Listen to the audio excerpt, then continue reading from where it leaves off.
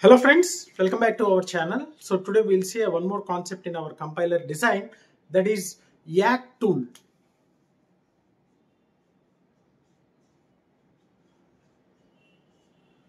So here YACC stands for yet another compiler compiler which is a parse tree generator tool.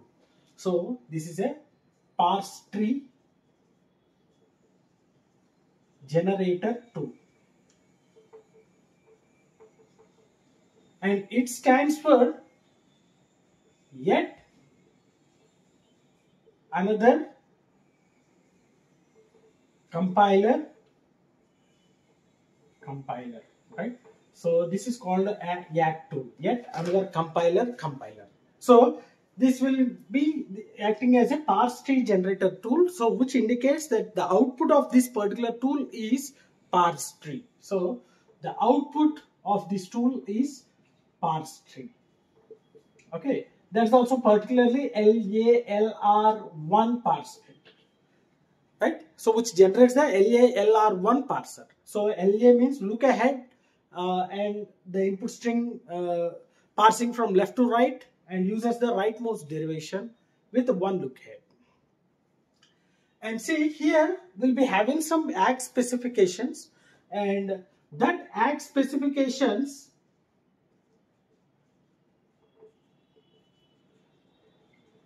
we'll be having a file name with a dot extension dot y, right? And these specifications are divided into three categories or three divisions. So the first one is definition, definition, and this should be in between the modulo symbol, that is the percentage symbols. And this definitions means it defines all the tokens token information token information will be there. Similarly the declarations will be there. And some header files will also be here. Header files. And the constant declarations. Okay variable declarations everything will be comes under this definition phase. And the next one is rules. And that should be included in between two modulo symbols. So this is most important so this section specifies specifies the actions to be done or actions to be taken taken when the token is matched with the grammar. Matched with grammar see here these particular specifications will be having some grammar and after processing this particular grammar will be having some tree so where it will take tokens as an input.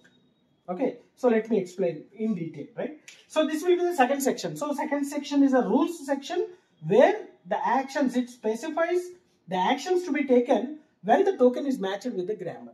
And the last section is auxiliary routines. Auxiliary routines. So this section specifies the function definitions. The routines means subroutines or functions. So whatever the functions we are writing inside the main function including the main function so that will be executed and that will return the result okay as a 0 or 1 if it returns 1 that implies the parsing is unsuccessful and if it returns 0 that implies the parsing is successful. That means the execution of subroutine is successful. So here, the main function will be executed and also the functions will be done. So function definitions will be done. Okay, and if return 0, that is successful. So successful execution. If it returns 1, it is unsuccessful. So this information will be given in this particular auxiliary routines. So these are the three different sections available in the YACC specifications. Okay, so first one is the definition, so where all the declarations will be done. Second one is the rules, where the actions to be taken, what type of actions to be taken if there is a match. And the next one is a auxiliary routines where the normal main function or any function definition will be get executed and it will return some uh, some value. So if the return is either 0 it is successful and if it is 1 it is a unsuccessful. Now after specifying this one right so this complete information will be available in this YACC specifications which is of a dot y. For example, let us take it as a some excuse me. sample dot y which consists of the YACC specifications. Now what happens after specifying this one right? This complete grammar. Okay after specifying all the grammar according to the specifications. So we will be saying that it has a dot y right? So i'll take sample dot y will be taken as a input and to which we have to give to the YACC compiler to the YACC compiler so if this file is given to the as an input to the YACC compiler it will produce some uh, y dot tab dot c so that means C file, C programming file will be returned as an output. Now, in order to execute this, we require some C compiler. So, the next step, so this is a step 1. And step 2, what is the step 2?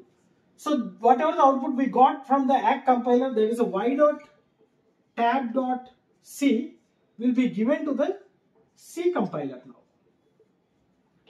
C compiler. So, which will produce a dot out. Here A dot out is a analyzer, right? Syntactic analyzer or a parse generator, parser generator. So the next one, this for this particular A dot out, we are supposed to give the tokens as an input and these tokens will be coming from the program. That means this is the output of the first phase of a compiler that is a lexical analyzer. So we have discussed about the Lex tool. So which produces all the tokens of the program, smallest individual units of a program. So those tokens will be given as an input for this particular parser generator. And finally the output will be the parse tree. The output will be the parse tree.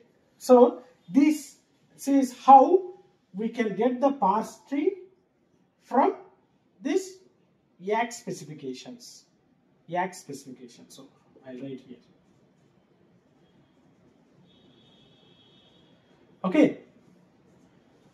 So first YACC specifications. This file will be given to the YACC compiler which will produce the C, C file and C file will be given to the C compiler which will create the parse generator. So this will be the parse generator. We can simply write it as a parse generator. So we need to pass the tokens as an input here in the second phase. So what we have discussed in the earlier session, there's a first phase is a uh, lexical analyzer, the next one is a syntactic analyzer, right? So uh, whatever the input we are, uh, whatever the output we are getting from the lexical analyzer, that will be given to the next second phase. So that's what we are saying. So tokens are the uh, output of uh, lexical analyzer, which we are giving as input to the a dot out, which is a parse generator, which will generate the parse tree. So this is how the parse trees uh, will be created by using this parse tree generator. So this is a tool. This is a tool which will generate the parse trees. That's also particularly LALR parsers. LALR parsers. So we have seen these LALR parser and different types of parsers in our previous session, right? So once refer that. Okay. So hope you enjoyed this one and uh, let's stop here. Uh, if you really enjoyed my session, like my session, share my session with your friends and don't forget to subscribe to our channel. Thanks for watching. Thank you very much.